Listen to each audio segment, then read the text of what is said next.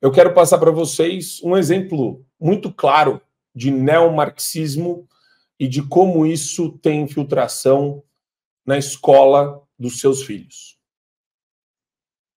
Precisa entender que existem meninos e meninas e que isso pode ser construído ao longo do tempo. Eu, quando nasci, nasci do sexo masculino, todo mundo já sabe, né?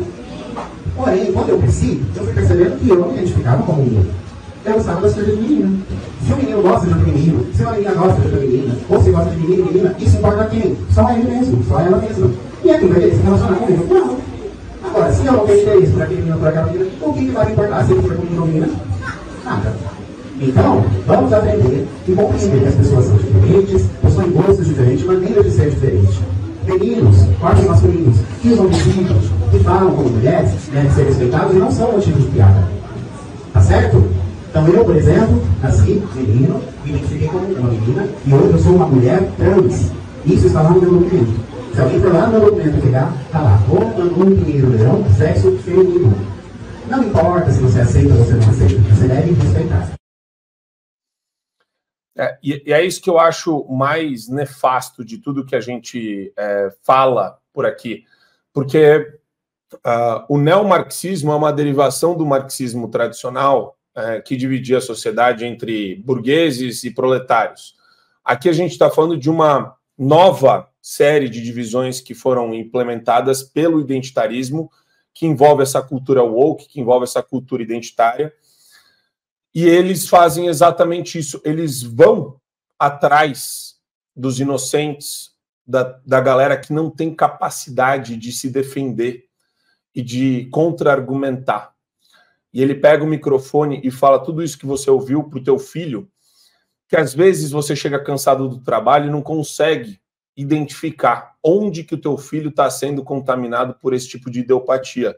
Vou começar essa com o Paulo Cogos para a gente analisar o nível de perturbação mental e como esse caso deveria ser objeto de denúncias sistematicamente pelo Brasil inteiro, Cogos. Sim, isso é caso de polícia professor Olavo de Carvalho, ele muito bem falou que o que fizeram com as crianças brasileiras é um milhão de vezes mais grave do que todos os petrolões, mensalões e radiolões somados, o que já é bem grave também. A educação brasileira ela está na mão de pensadores nefastos de herança comunista marxista soviética. A doutrina educacional brasileira ela se baseia no chamado socioconstrutivismo, que tem como inspiração Vygotsky, esse tipo de gente. O que, que é o socioconstrutivismo? É a ideia não de servir à formação intelectual da criança, mas de transformar as crianças em agentes revolucionários subversivos através de uma doutrinação escancarada. Então, eles dizem que a criança, em vez de adequar o seu intelecto à verdade, como é o, a educação clássica, ela deve ser moldada segundo os preceitos revolucionários e deve então ter uma educação contextualizada pela dialética materialista de combate ao capitalismo, esse tipo de coisa. Herança marxista. É o que estão fazendo com as crianças, um combate à verdade. Eles querem uma revolução contra tudo que está estabelecido pelos critérios de verdade. Não só os critérios de verdade na, na lei, na moral, na ética, na economia, mas até na biologia agora. Então, eles estão atacando o próprio conceito de verdade científica quando eles fazem um discurso desse.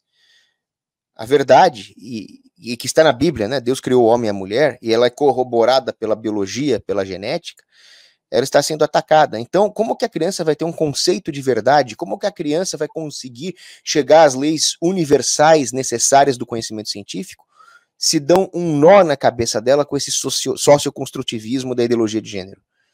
É impossível. E quando se afasta a criança da verdade, ela passa a ser completamente moldável pela ideologia vigente, pelas intenções revolucionárias. A ideia toda da educação marxista é essa. Nós temos que destruir a, as tradições, os pilares da civilização, os pilares de verdade, para moldar a criança segundo o contexto da própria, do próprio projeto de poder revolucionário. E com isso, eles atacam ainda a ideia da antropologia e da família, porque toda a sociedade humana ela se baseia na família, que se baseia no casamento tradicional, que se baseia na união entre um homem e uma mulher aberta à vida. A complementariedade entre o homem e a mulher aberta à vida. Se a criança é ensinada de forma errada a desprezar esse construto básico da sociedade que é a família tradicional, ela não vai ter um parâmetro onde se basear e ela vai achar que o parâmetro é o Estado. Esse mesmo Estado que enfia impostos goela abaixo do pai dela e o pai não tem tempo de corrigir essa, esse dano que a, que a escola está causando. Então, isso é um crime. Isso é, uma, é um terrorismo intelectual. As pessoas responsáveis por isso têm que ser presas. E a única solução, Adriles, é o homeschooling. É, é, eu queria uh, jogar para o Holiday sobre a importância desse combate uh, no âmbito parlamentar e como a gente vê o aparato burocrático estatal também dominado por esses ideopatas. tem aqui um post do Gustavo Gayer que ilustra muito bem isso daí. Ó. A, a Frente Parlamentar Mista pela Educação Sem Doutrinação Ideológica repudia veementemente a recomendação do, prestem bem atenção, tá? Ministério Público da Paraíba, impõe medidas relacionadas à ideologia de gênero nas escolas públicas e privadas do Estado.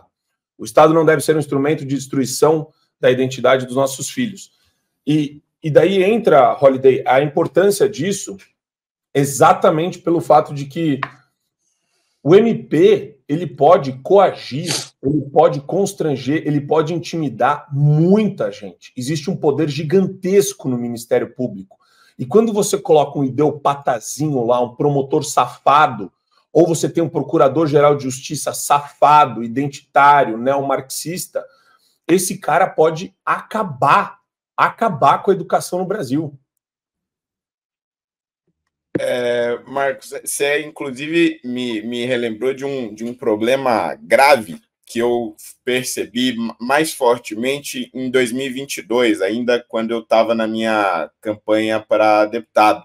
Foi quando eu fui visitar diversos municípios menores no interior de São Paulo e, eu fiquei absolutamente assustado com o poder que o promotor tem sobre uma Câmara Municipal quando essas cidades são pequenas. Te, teve cidades, e não foram poucas, teve cidades que eu, que eu ia é, visitar vereadores, ia acompanhar a sessão, promotor ele sentava, ele tinha um lugar no plenário, não era na plateia, não, no plenário da Câmara Municipal, reservado, e basicamente ele ficava ali avaliando todos os projetos discutidos.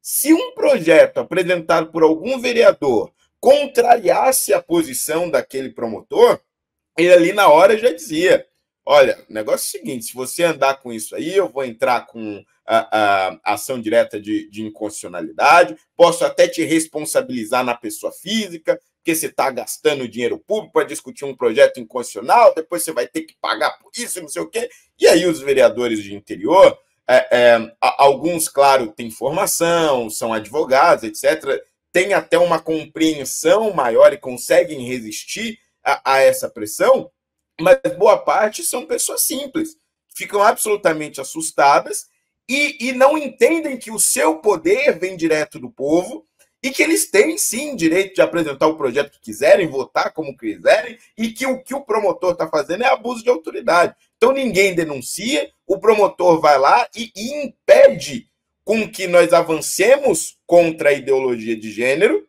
na maioria das vezes é, é essas discussões é, que eles travam e facilitam o avanço da ideologia sobre as nossas crianças.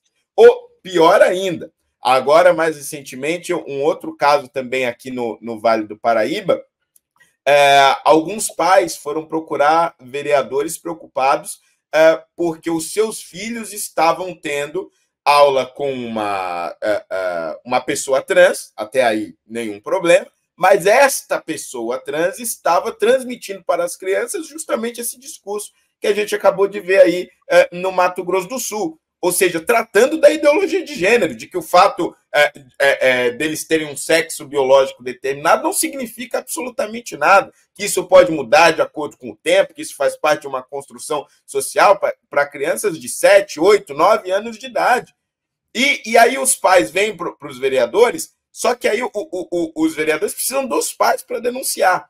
E os pais não querem se expor, porque tem medo de depois ser acusado de transfobia, de homofobia. Ou seja, se instaura um ambiente de medo, tanto em relação aos parlamentares, principalmente quando nós estamos falando de cidades é, menores, como em relação aos pais que ficam sem saber o que fazer. Não querem denunciar porque tem medo de se virar contra eles depois, porque o, o Ministério Público é, pode vir para cima dizendo que é transfobia, homofobia, o caramba quatro.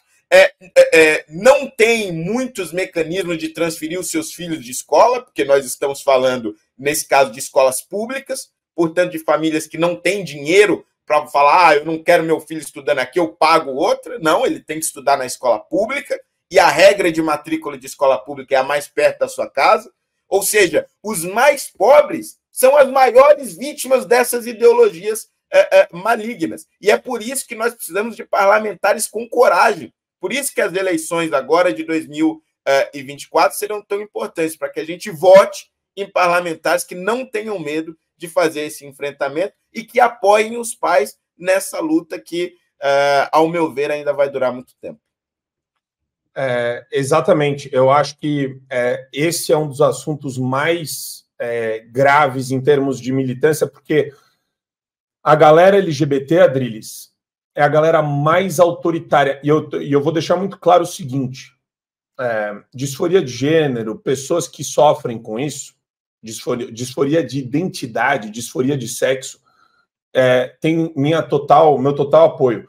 O que a gente está enfrentando aqui é militante neomarxista que usa o pretexto da bandeira LGBT, ou seja lá qual for, né, GLS, bandeira é, de construção de imagem, mas esse é o grande mal encarnado, porque essas pessoas elas trabalham toda hora com o binômio é, vitimização e ataque. Vitimização e ataque. Elas se vitimizam para poder atacar.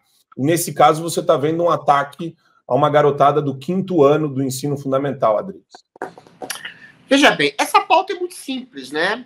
Você, como você bem disse, Marco Antônio, é, a gente tem que respeitar todas as pessoas que têm algum tipo de desvio sociopsíquico, que a gente pode chamar de, de, de, de disforia de gênero. O que é disforia de gênero? É um menino que se identifica com uma menina desde a mais terra infância ou uma menina que se identifica uh, com um menino desde a mais terra infância e, se persistir essa disforia de gênero, pode ser exatamente o caso de uma pessoa transexual que vai fazer essa transição de gênero. Antes, isso era tratado como uma patologia hoje é adequado a uma convenção social. E pela ciência, pela medicina, um homem pode se transformar esteticamente, tá?